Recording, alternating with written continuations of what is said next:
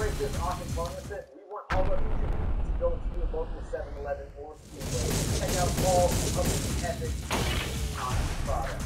You got the original Flamin' Hot Doritos. We also have Doritos Flamin' Hot Coolant